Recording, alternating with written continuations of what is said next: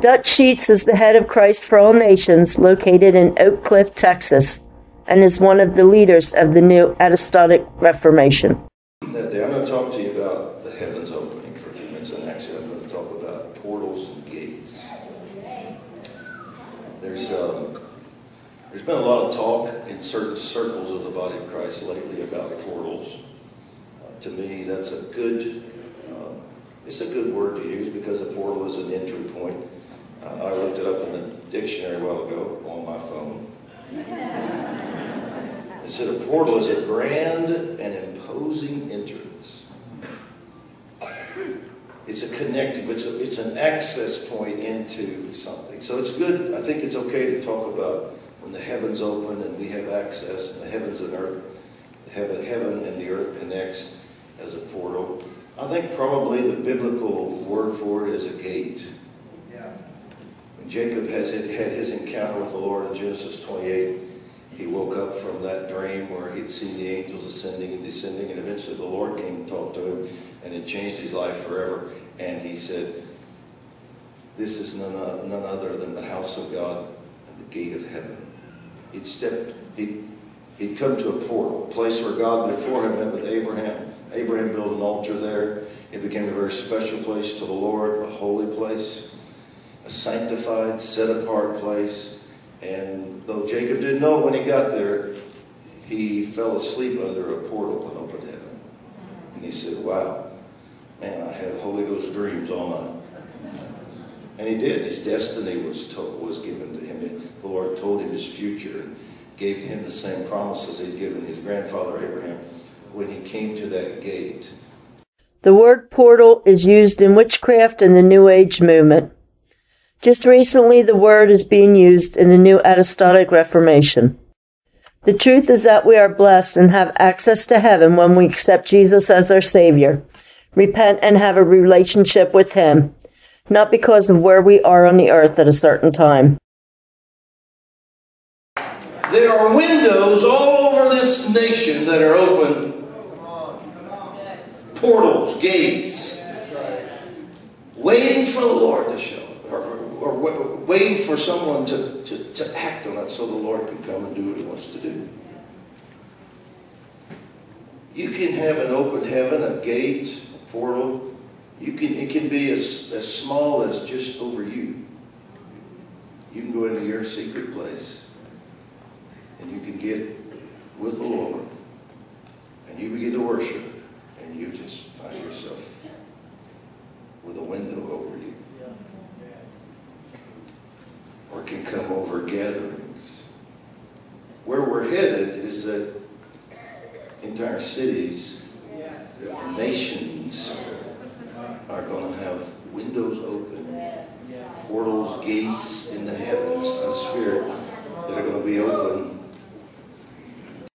Can there be a portal or gate as large as a country?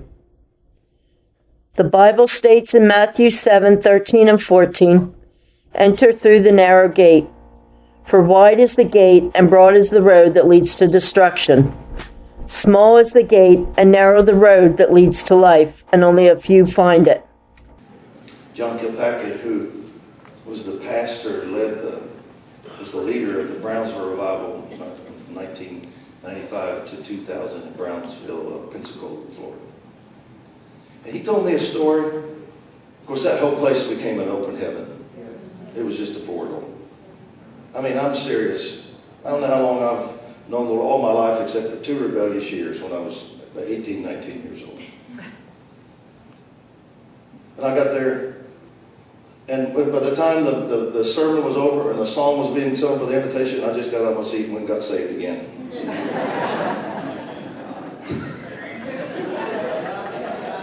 I just thought, I know I'm saved, but something's just drawing me to that altar. I just, God, just cleanse me, just wash me. You just, the presence of God. I mean, anybody here ever, ever go to that? I mean, it was just amazing.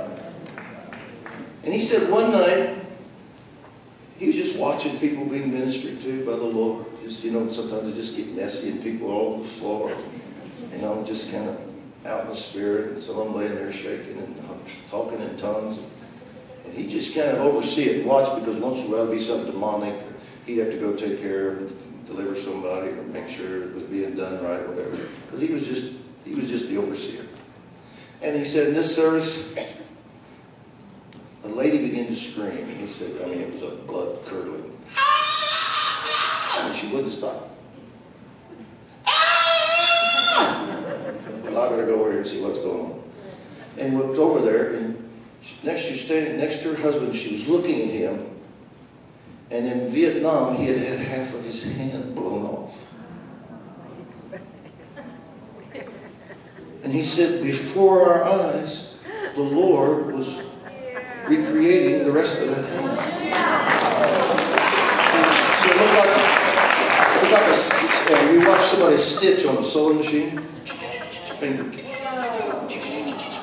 Go back, come back, make a little bigger. He said, we're just watching it. And I said, what'd you do, John? He said, I started screaming.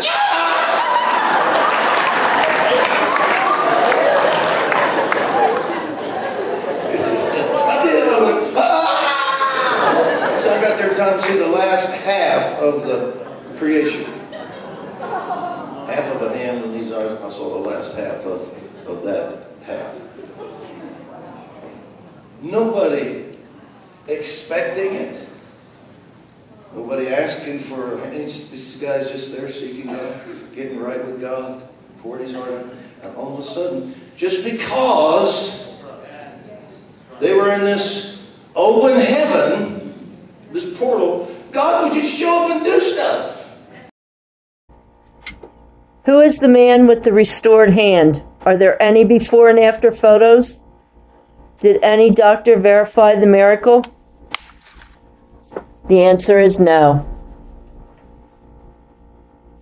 According to the Pensacola News Journal on November 20, 1997, there was no medical proof of any miraculous healings. Brownsville Assembly of God did not keep records of medical documentation of spontaneous healings, nor a file of names of people who say they were healed. After the revival was over in the year 2000, Brownsville Assembly of God fell into $11 million in debt as the attendance dropped from thousands to about 100 people. 1 John 4 1 states, Dear friends, do not believe every spirit, but test the spirits to see whether they are from God, because many false prophets have gone out into the world. The gates between heaven and earth were aligned 2,000 years ago when Christ Jesus died on the cross, rose from the dead, and ascended into heaven. He became the only gate whereby men might access the Father and eventually enter his kingdom. There is no other way to heaven.